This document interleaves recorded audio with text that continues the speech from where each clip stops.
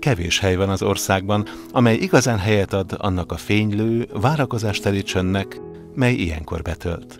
A vágyakozásnak az igazi ajándékra, melyet nem csomagol be senki, melyért senki sem fárad, melyet senki sem díszít és címez meg.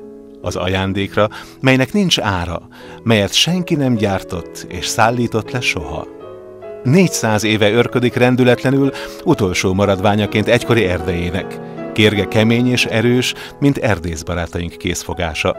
Ágaiban ott feszül az ég, mint erdőt járó társaink tiszta, egyenes tekintetében.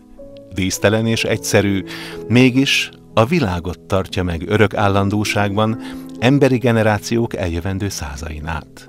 A bátaszéki öreg molyos tölgy, az évfája, az örök és időtlen karácsonyé, melyet valódi ajándékul mutat fel az Isten.